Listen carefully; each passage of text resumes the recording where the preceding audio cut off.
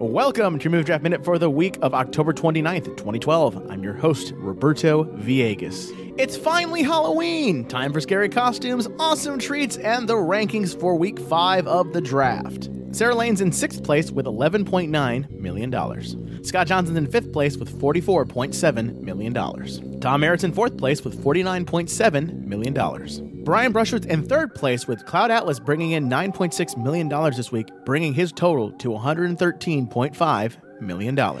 Justin Robert Young's in second place with $117.5 million. And in first place with Silent Hill Revelations 3D bringing in $8 million this week, bringing his total to $170.2 million, it's Padre Robert Ballecer.